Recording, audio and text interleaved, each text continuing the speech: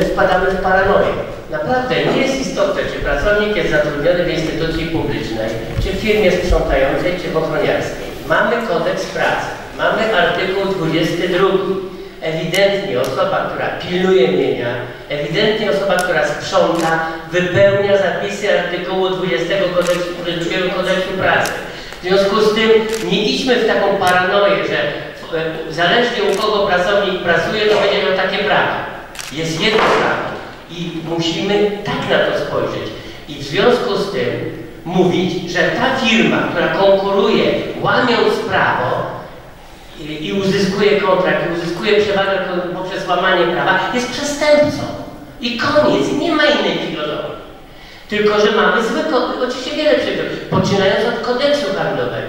W, Eu- w, w Europie tej cywilizowanej Unii Europejskiej, jeśli zarząd doprowadza spółkę, czy właściciel do upadłości, nieważne z jakiego powodu, ma zakaz prowadzenia działalności gospodarczej i zasiadania w zarządach spółek przez lata, a czasami dożywotnio.